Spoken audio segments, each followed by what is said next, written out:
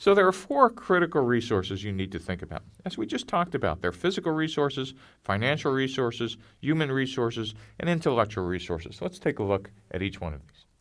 For physical resources, these might seem at first kind of the obvious is uh, your company's facilities, and that is office space, company location. Are you in downtown Palo Alto, or are you in Ann Arbor, Michigan, or you in Delft in the Netherlands, or Santiago? Where's the best place to locate uh, your company's headquarters and where you're going to do most of the work? The second part of physical resources, where are you going to get the supply for your product and services? So, for example, if you're making silicon, um, where, who's going to be your silicon wafer supplier in, in, in, the value chain? Or if you're making steel, where are you going to get the iron ore? Or are you going to need thousands of square feet of warehouse space if you're going to set up a distribution center?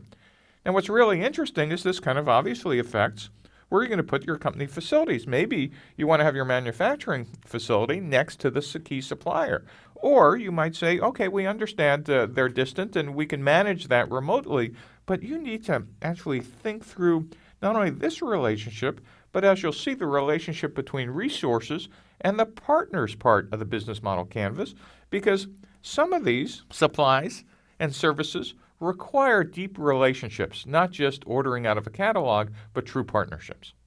Now, the other thing to just remember is many physical goods, if you're in a physical channel, are capital intensive, which is a fancy word for saying doing a startup like Tesla or SpaceX is very different than doing a iOS or Android app. Uh, the amount of resources you're going to need for physical goods just are dramatically different. And when you're thinking about the finance component, you want to really think about what happens after year one, year two, etc. How do you scale this business? And in the uh, second decade of the 21st century, a good number of clean tech startups and life sciences startups are now encountering this phenomenon. Is it works great as a startup, but there's a valley of death for capital and scale.